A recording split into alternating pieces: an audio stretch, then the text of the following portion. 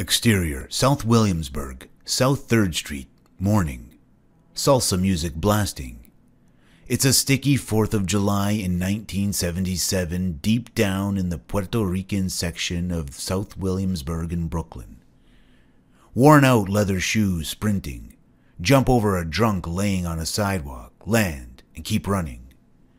Exterior, South Williamsburg, Street Festival, continuous. The place is packed. Warm Bacardi, fried empanadas, and neighbors dancing under American and Puerto Rican flags. Judging by the music and the friendly faces, right this second, everything is chever, all good. It would be easy to forget this is one of the toughest ghettos in America. On stage, a band of high school students playing KK Cole, a high energy salsa classic. What they lack in polish, they make up with enthusiasm and volume. Exterior South Williamsburg, South 4th Street, continuous.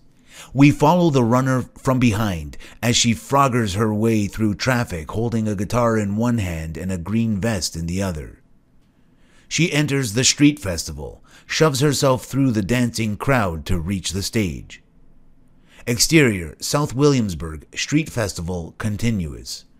A new band gets ready downstage. The musicians are a dozen Latino high school kids dressed in white, with green vests, all bunched up around the teacher, scruffy Latino, 40s. This is not the annual end of the year concert at the school where your parents take pictures and think you're cute.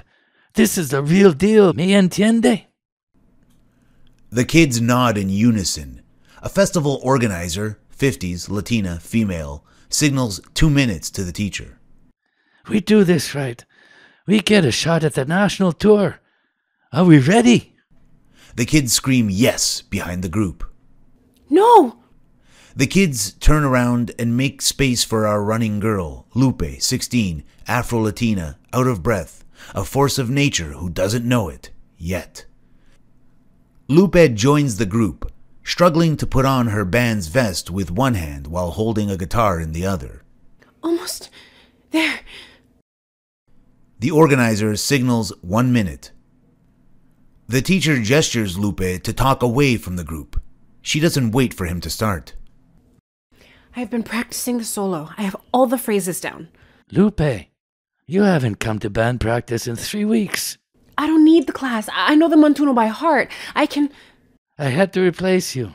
But I'm here. Lupe, listen. You're 16 years old. You should be in school, not working with your mom. You are the best in the class, and it breaks my heart you are not up there today. Beat. They both linger as the words sink in.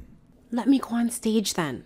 I could talk to social services, but I won't do it without your consent. Do you understand what that means? My mom is working extra hours. She just needs a little help to get us back on our feet. I'll take that as a no. It's your choice. Unfortunately, you can't play. Please. The teacher takes a beat. I'm sorry, Lupe. It's the rules.